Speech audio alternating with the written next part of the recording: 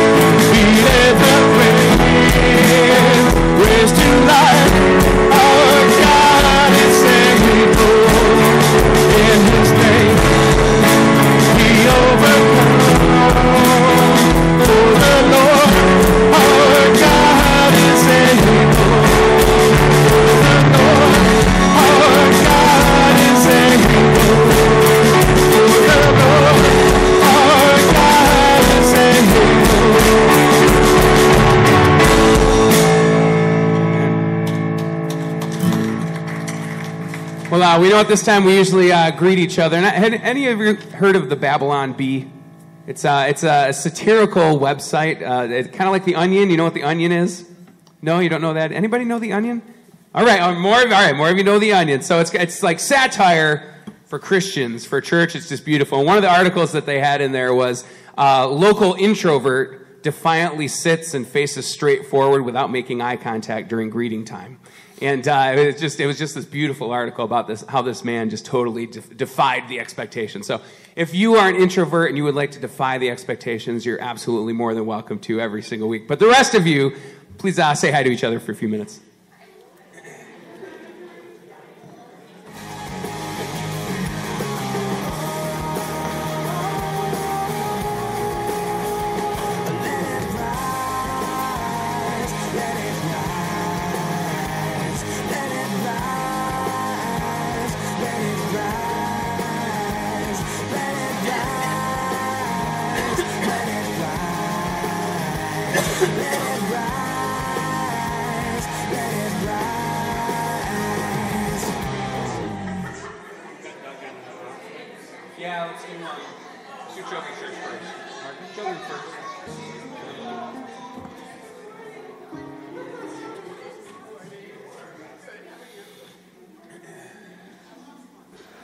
All right, kids, come on down. You look a little tired, like it's like uh, you had Friday off or something. This is uh, midwinter break, and so some of our kids are off going places, I expect, and running around the world.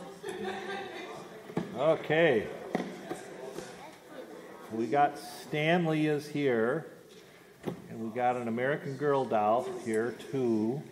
Well, let's see what we got in Stanley today. Not too heavy, so we'll kind of take a look and see.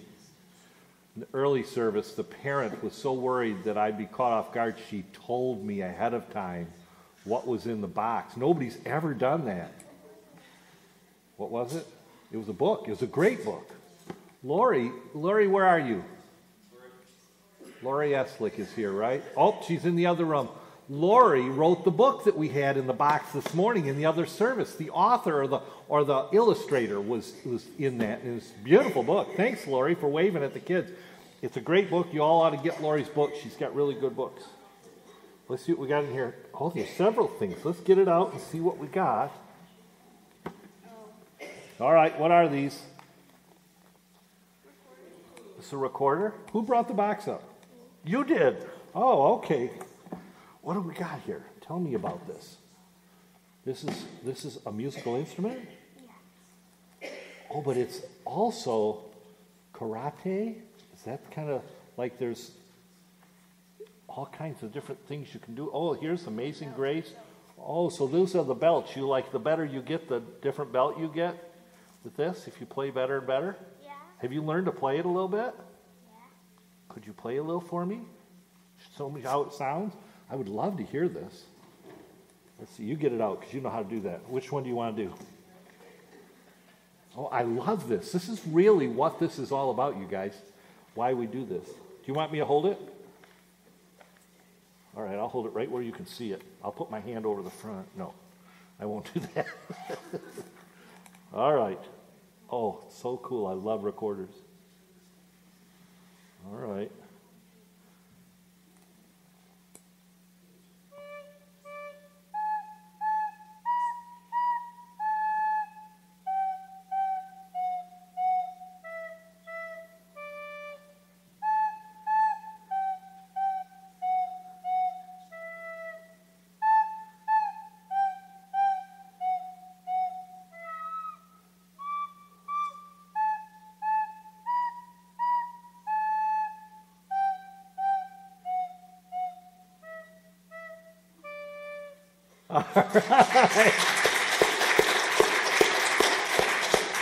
That was fantastic. They didn't even play anything better than that, did they? Right? Dad, watch out. He's going to bump you out of that group. What song was that, you guys? Twinkle, twinkle. You know what it was. It's great. Yeah. You know, this is one of those times when, again, I underscore this is why we have these guys bring in some of their favorite stuff because um, it turns out what is favorite to them is a treat to us. We got to hear you play, and that makes it extra, extra good, Cole. I'm so glad you do that. So, how long have you been playing this? Since the beginning of Like the fall in September? And so, this is a class in school, so you've got classmates that are doing the same stuff. Good. That's great. Well, it's a it's a good way to begin music, and I know you've you've got music in your family, so this can carry through. We're going to talk about today how we are a part of not only a family like this group, but we're also a part of a family of God, and that God, you know, kind of connects us with every other person in this world as we recognize that we're a part of God's family. So in a sense, you've, you've reminded us of that through your bringing of this today. And I so appreciate it. But more than that, I loved hearing you play. So, Cole, thank you for doing that. Let's put it in so you can take it back when you go. Very good. First musical instrument I've ever had brought in one of these, so that was kind of cool. Always love first. So let's have a prayer, you guys. Lord, we thank you for Cole and, and all the others that are learning music and, and everybody in this group that's got all kinds of fun stuff that they're learning that's not easy. And we ask you to continue to bless us through their hard work and their efforts. In your name we pray. Amen. Thanks. We'll see you in a little bit, you guys. All right, well, it's time we bring uh, announcements to the forefront. And uh, I know Doug has one here a, that he would like to bring to you specifically, but just a couple of things that are, uh, well, one that's in the bulletin and one isn't in the bulletin. There's a potluck next week here at the church at 4 o'clock. And uh, the reason it's a little early, I, I believe, is because of the, uh, the youth groups that meet here. And uh, so, just to make sure there isn't any overlapping there, it's at 4 o'clock. So, bring a dish to pass. It'll be down in the basement. And uh, speaking of youth group, the one that isn't in the bulletin, there is not middle school youth group tonight, but there is high school youth group. And I believe Doug said if some of the middle schoolers do want to show up to the uh, high school, they are free to do that. So uh, siblings can can come along too. And uh, high school is just going to watch a movie and uh, eat some food as usual too. So there is is that availability, but we're not having a regularly scheduled middle school group tonight. And Doug has an audio visual presentation for his announcement. Yeah, just a, a real quick brief. By the way, we're going to watch tonight. We're going to watch the Priceless movie that for King and Country, uh, a group that we went to see um, has been promoting. As uh, it's a very powerful movie, uh, strong, strong uh, message and theme.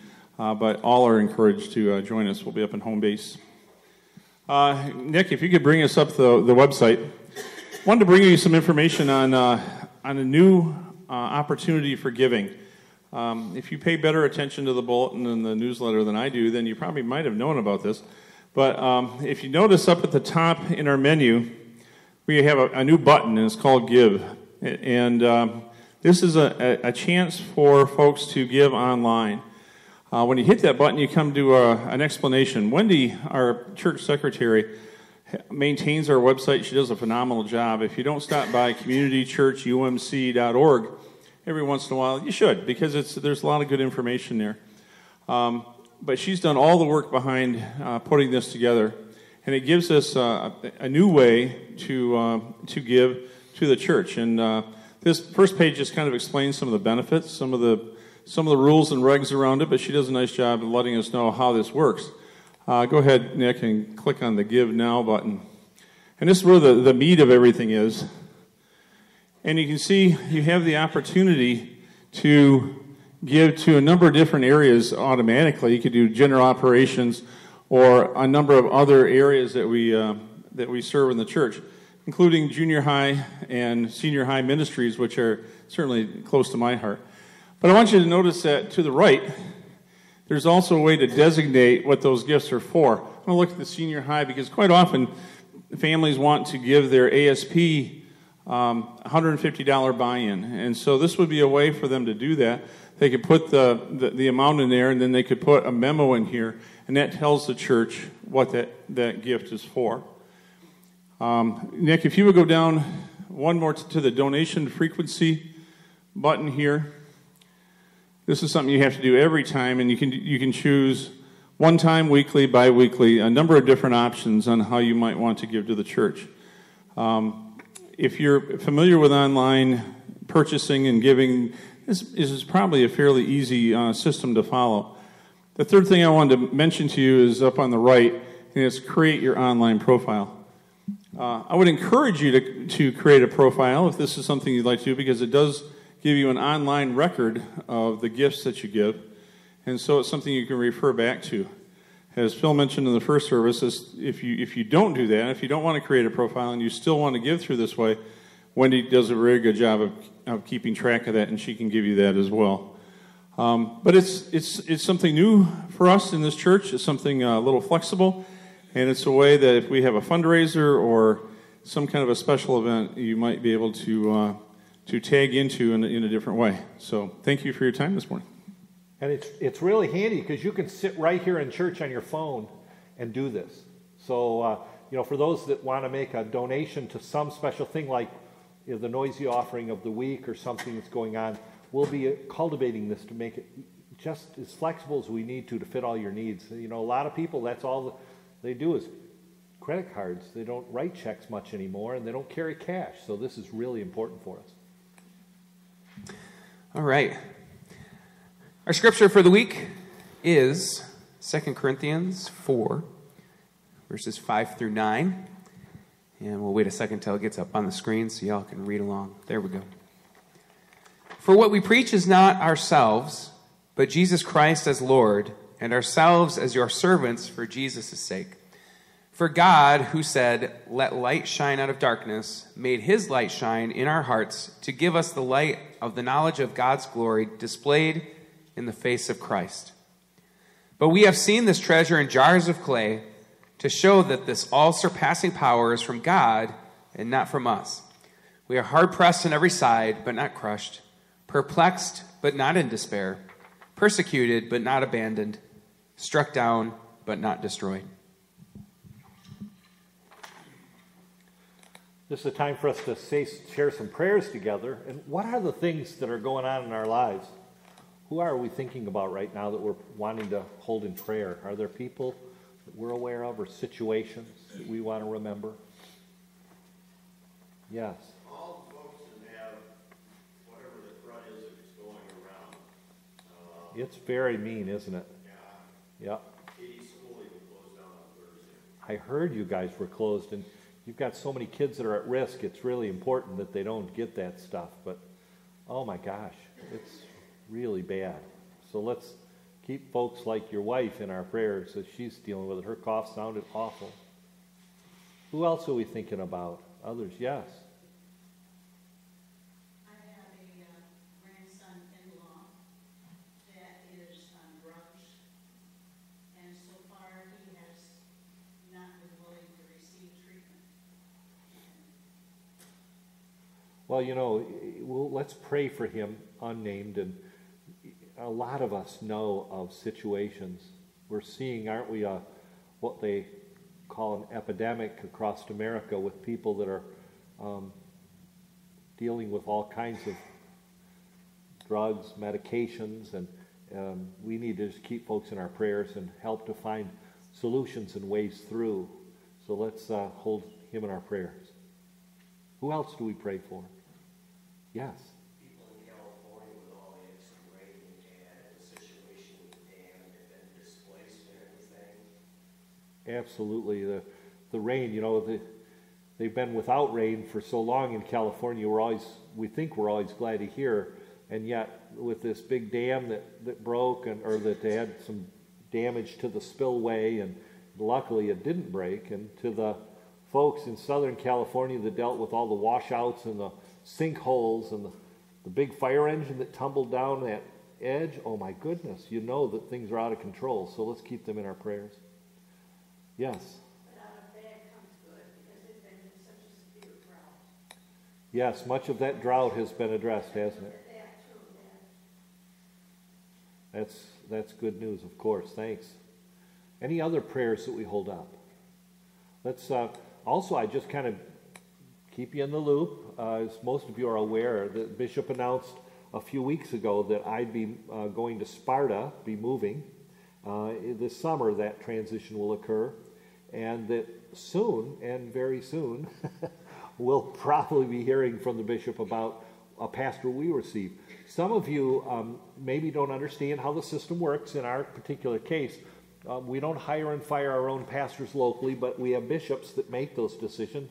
Our bishop oversees the whole state of Michigan. It's about 800 churches. And so um, they've got, the bishop has a, a group of people, um, 10 or 12, that help uh, that, in that process. And uh, they will then contact us when the bishop has decided who's coming here. And uh, so it's a, an advisory thing where we try to tell the bishop all the kinds of things we believe we need in a pastor. We do that every year so they know. And then uh, we, uh, we hope that then that's listened to. And so once we hear, there'll be an introductory meeting. And as soon as that happens, within days, there'll be an email that will go out to the whole congregation.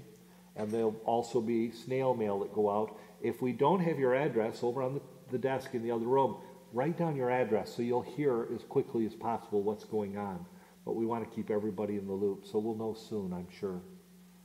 Any other prayers that we hold up? Let's pray for that unnamed pastor that will be coming to us as well. Anybody else we're praying for? Yes. Not just the pastor who's coming, but the pastor's leaving. And, and pray for his church because they don't know what they're in for yet. so let's keep everybody in our thoughts and prayers as we head forward.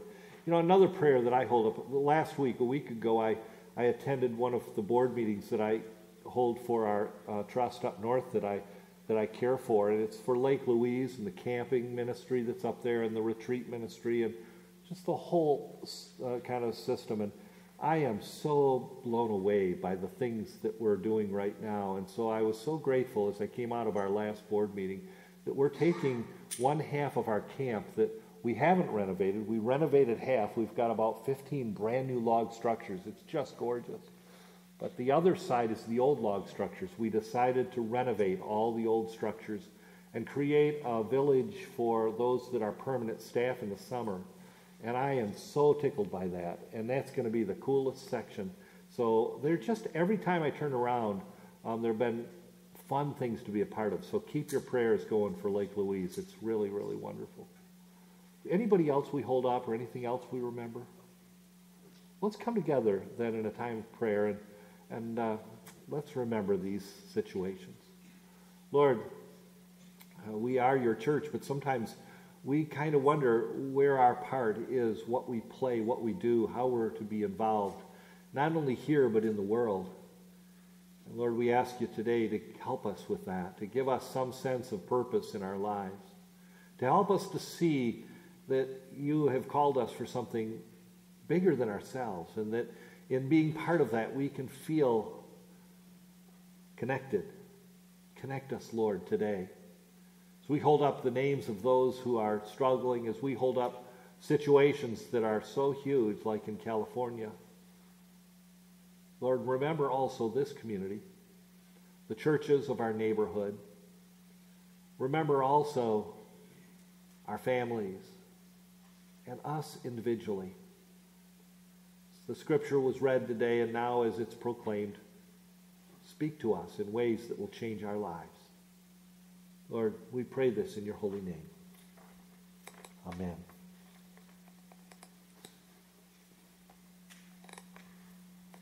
Well, I think most of you may be aware that we are actually in our in our fourth week of five weeks of a study called Ed Story. We've been watching a series of videos that that Pastor Ed made um, some several years ago. He's a pastor at, at the Calvary Church in Grand Rapids, and uh, Ed Dobson is his name. Some people from our church had opportunities to study with him and, and be a part of his church, and so it's been a kind of a special time for us to have kind of a local celebrity that we've been able to study with. But, you know, celebrity or not, what he's been saying to us, I've heard from a lot of you, and you're finding it meaningful. And, and uh, so let's, let's give a look at, at what he has to say for us today. I'm going to start as I've done in the last several weeks. I'll say a little bit, we'll watch the film, and then I'll come back and wrap things up for us. So today, Ed's story is called My Garden. You know, when we were born, each of us was given a, a birth certificate which details who our parents are, as well as the place and the date of our birth. And this has become for us a, a form of ID, identification for life. Often uh, we need to produce uh, this to prove who we are. As we grow, we, we gather other forms of ID, a student card maybe, or a driver's license maybe a passport, possibly a marriage certificate along the way, as well as a variety of things like library cards and bank cards and credit cards, some of which have this thing called a PIN. What? Personal identification number. These identity, these identify who we are, and they sometimes give us access to certain places or information or things. We also come into this world with a lot of other identifiers we come into the world with a family, uh, family history, you know, race and gender, social status, education, uh, medical and genetic characteristics. And sometimes we want to know what those are so we might know something about what might be headed our way, medically, for example. We have personality, and we wonder sometimes, don't we, how connected that personality is to our parents or to others in the family. And there's a whole lot more. These things don't strictly determine our choices or our future, but they do greatly influence where we're headed, oftentimes. Along life's journey, our identity emerges further and is shaped by, by both the environment we're in and by the choices that we make. All those things are playing together, aren't they? But there's one characteristic which simply isn't covered by any of these aforementioned And ironically, it's, it's the most important identifier of them all. So important, in fact, that Jesus said that our recognition of it is like being born again. This identity is who we are in the eyes of God. Out of God's great love, we've been chosen as God's children. That is huge. God adopts us into the family, welcomes us in, in Christ. In Christ is a phrase that we see over a hundred times in the New Testament. In Christ, we have, in a sense, a new parent. In Christ, we have a new name, Christian. In Christ, we have a new purpose. Through this recognition, we actually become a brand new creation, a totally new person. Trouble is, most, most of us don't know who we really are in Christ. It's a question that's out there for us. You know, it's something we're going to look even closer at in the next study we launch into in about two weeks. A new creation. But many of us, we're still living out of the old ID cards, the ones issued to us by the world, valued by some cultural or human system of importance and what's valued scaled by earthbound principles. But who we are in Christ is really ultimately what matters. And I'm here to tell you that who we are in Christ is a lot better than a lot of times we think of ourselves or we think of others. Who we are in Christ is really good.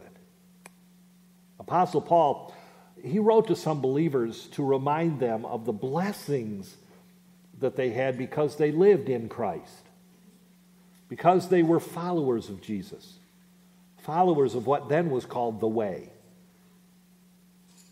Being in Christ is a description of our new spiritual position or identity due to our relationship with God and recognizing that relationship with God, that we are children. It's such a struggle that much of the world doesn't really even know that. And one of our tasks is first to absorb it ourselves and then share it with the world.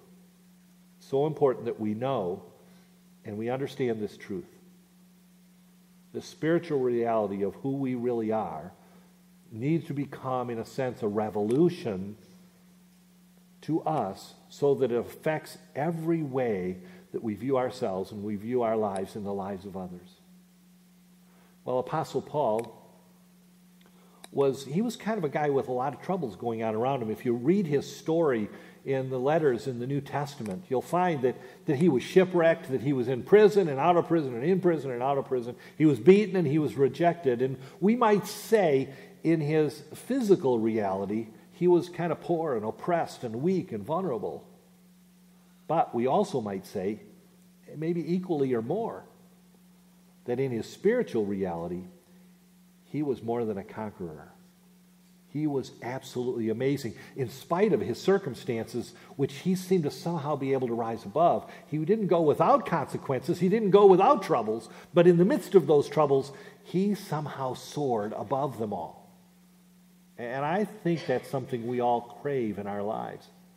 How do we deal with the realities that come down upon us? Because he lived by the revelation of who he was in Christ. And he realized he was a follower.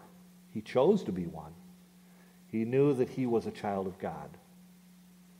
And that made all the difference in the world. I'd like to ask us to run the video for today, we'll come back to this in a couple minutes.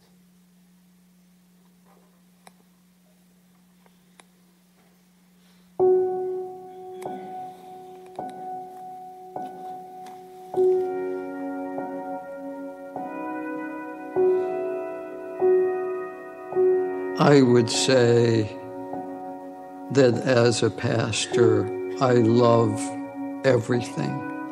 I love teaching. I love weddings. I love baptisms. I even love board meetings. In college, I wanted to be a surgeon, but halfway through, God spoke to me about being a pastor. And so I switched from chemistry to Bible. Everything I did as a pastor, I felt I was doing what God called me to do. I knew that ALS would force me to quit. And I knew ultimately it would take my voice. So I told God, if you take my voice, it's okay with me.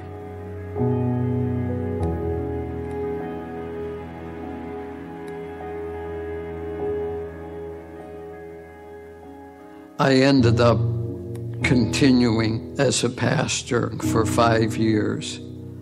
And the head of the clinic where I went told me, Look, you need to quit as soon as possible. So I came back that weekend and announced I was quitting. It felt like all of a sudden life had come to an end. Life was over. It's going from a hundred miles an hour to zero overnight. I had a cell phone and I kept saying, I'm going to go throw it in the Grand River because it rings constantly. And the day after, it didn't ring all day. And I ended up calling Lorna to have her call me to make sure it worked.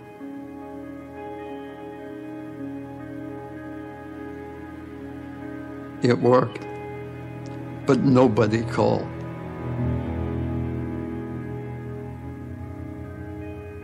When you're not needed, you lose part of your purpose in life.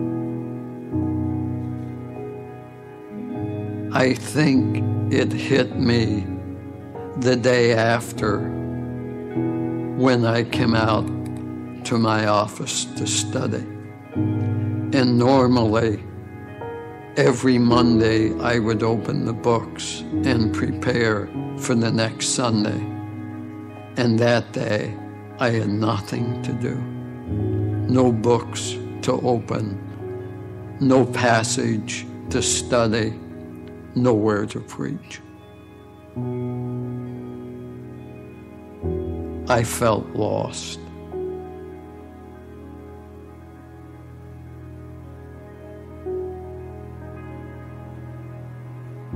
I think I'd lost my identity.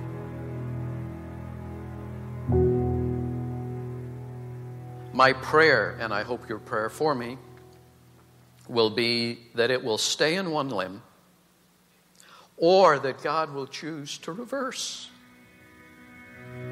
uh, the process. Since I was no longer a pastor, I wasn't obligated to live within any boundaries.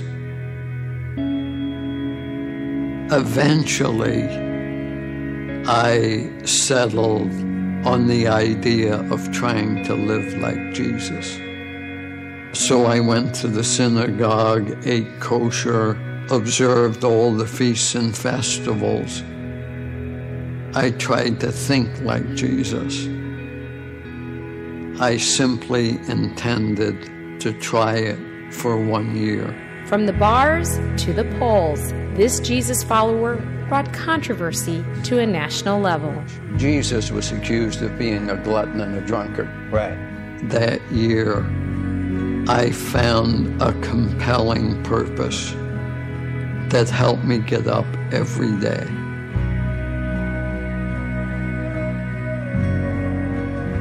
The paradox is that for me the purpose was following Jesus, which I'd been trying to do all my life. Previously, I never had time to do it. I was so busy preaching, leading, serving, working. Uh, I mean, I tried, but not to that extent.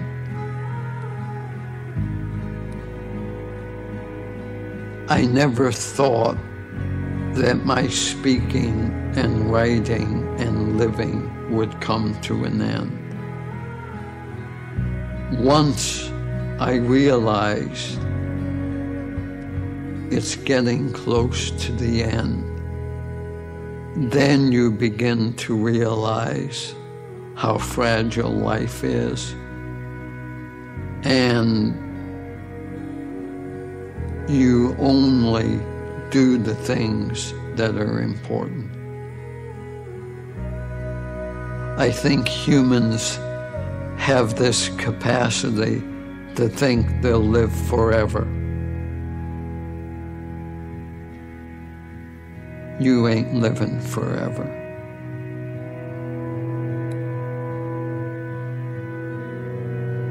So, what can I do with the limited time I have to make a difference?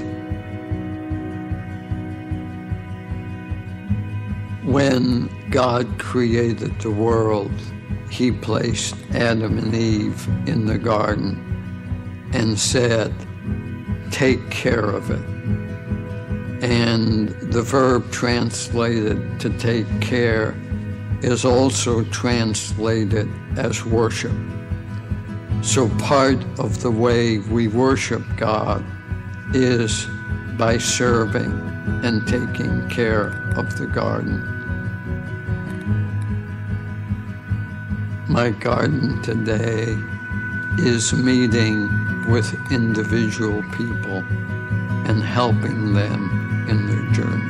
All right, thank you. Yeah, take care. Good to see you. When I was at Calvary, I preached to thousands of people every week. Today, it's one on one primarily. And my struggle is you would think that influencing thousands is more important than influencing one. But I'm gradually learning that influence one on one is way more important. ALS forced me into a situation where I grew in understanding what it meant to obey Jesus. It took me quite a while to find an alternative purpose. But the good news is, out there, there is a purpose for everyone. And when you arrive there, you'll know it.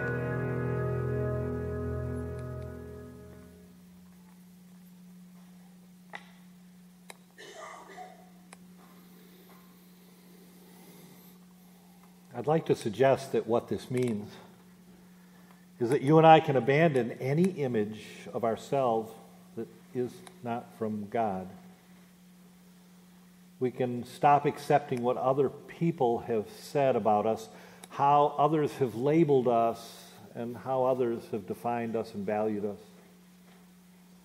We start by believing what God says about us that God is pleased, that God loves us, that God has given us a sense of grace for any aspects of our lives that have been bent out of shape. We're not defined by the opinions of others or by our outward circumstances. We're not defined by our success or our failures. We're not defined by the car we drive, the money we make, the house we live in. We're defined by God and God alone. God identifies us as God's own through grace and love. It, it always wins. A few weeks ago, I told you a little about the last section of my father's life, the last two months, in fact. Some of you have heard me say that, that he was a teacher, a- an instructor, and I want to take you back a few steps and tell you a little about this man who was one of my close friends. Um, he, uh, he went away to school and went away to war, and when he came back, he finished school. And uh, he worked in an industrial setting as a personnel manager for several corporations, Hayes Albion and, and Wyandotte Chemicals, a few big places. And eventually he would decide that that setting um, really wasn't where he wanted to be, what it was about in life. And he bought a little family dime store. Some of you heard me talk about the dime store. And he and my mom would run that. I, it was where I worked my first years, working in a little family business, and learned a lot about what it was to serve. Uh, eventually, he, the dime store business, you know, wasn't a big booming kind of thing. So he would go back into teaching, where he had he'd done some teaching along the way as well at U- University of Detroit and and uh, in the Detroit area, at Wayne State. And he went back into teaching and would teach at Spring Arbor University. However, my father didn't work with the typical college students there at Spring Arbor.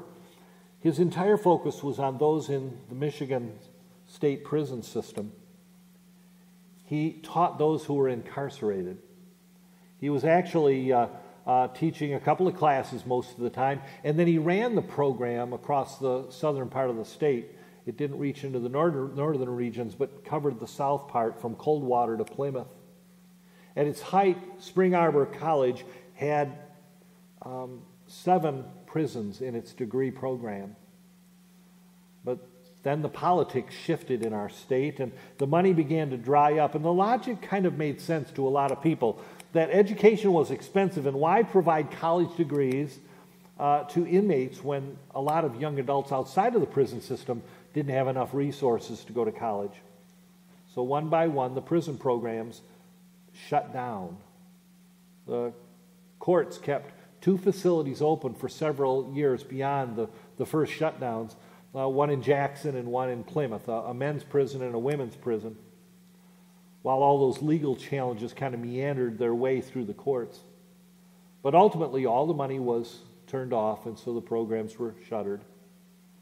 Although the instructors from Spring Arbor um, offered to teach their classes for free, the politicians still said no, it's not going to happen.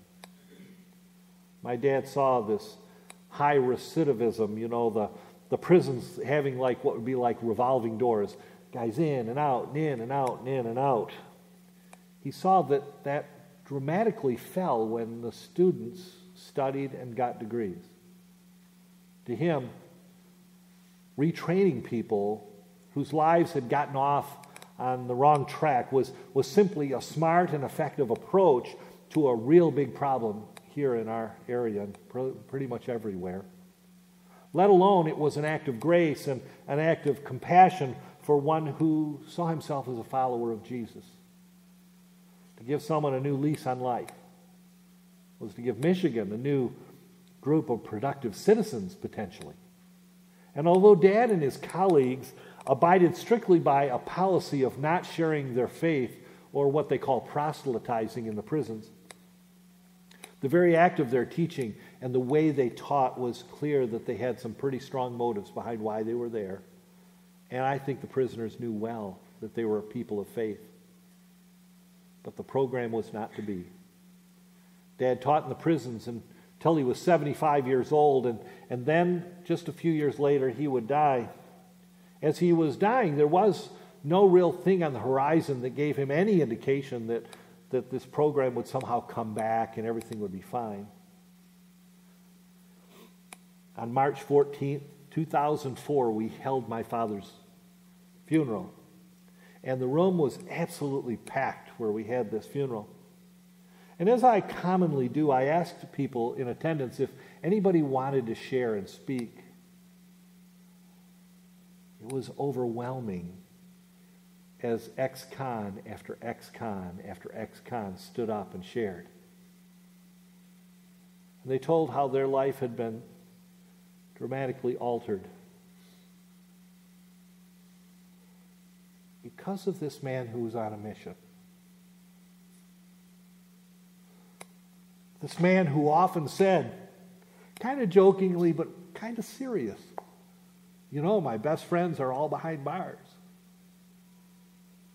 I walked out of the room that day of that funeral knowing that the kingdom of God within prisons would, would be all right. And that one day this educational program would spring back to life. Because you can't hold back such an important and good purpose. It'd only be a matter of time the pendulum would swing the other way again.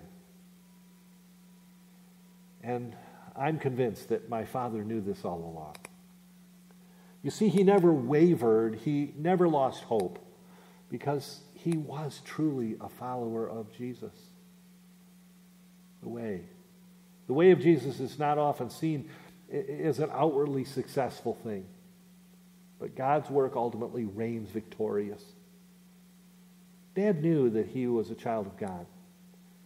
And he knew that his students were children of God, and he wanted them to know that somehow, that they were of value. And if, if they saw that he cared, maybe they'd begin to see that God cares. This awareness, it changes absolutely everything. Whether it's in a prison in Michigan, whether it's at Wesley School, whether it's at some other setting where we go, when we value the people within our reach, we run the risk of helping them to know that God cares too. It's a great risk to run. So today we go from this place, and I, I kind of wonder what defines you? What's your identity? What sends you out each day into the world? Is, is, it simply an identity that we've chosen for ourselves or something we've allowed other people to thrust upon us? Or is it even bigger than that? Are we children of God? Do we see ourselves as followers of Jesus? If so, then go. Don't be discouraged by the standards of this world. Although we are hard pressed on every side, do not become perplexed. Do not dis, dis, give up. And as these earthen vessels that we are, go and build the kingdom of God. One day, and one imprisoned person at a time. As they are set free, so are we. Thanks be to God. Amen. Let's pray together. Precious Lord,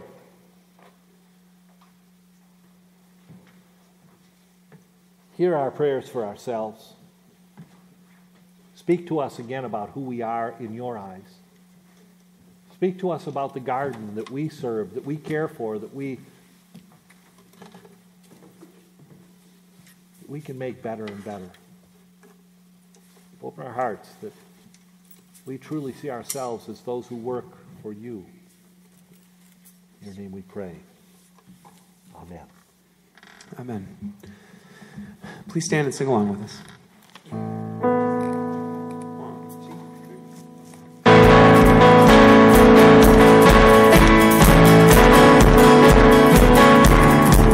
Yours will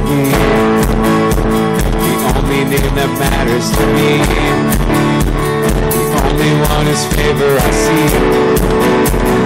The only name that matters to me. Will be the friendship and affection I need. Feel my father smiling at me. The only name that matters to me. Yours is the name, the name that saved me, mercy and grace, that forgave me, and your love. Is all I've ever needed. Yours will be, yours will be. The only name that matters to me, the only one whose favor I see, the only name that matters to me. Yours is the name, the name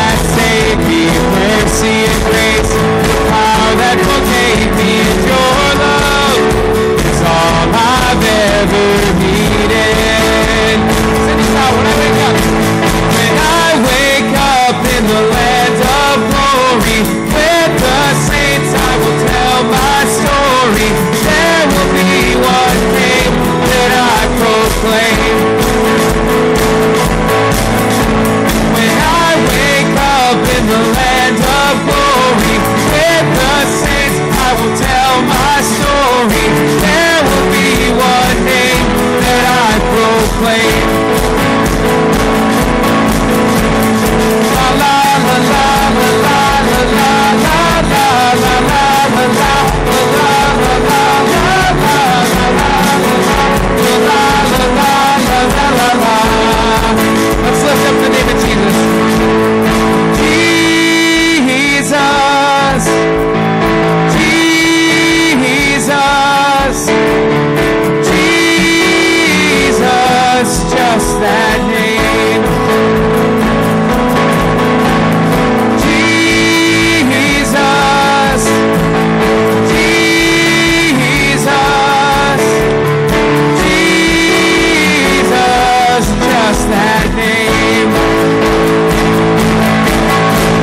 When I wake up in the land of glory, with the saints, I will tell my story.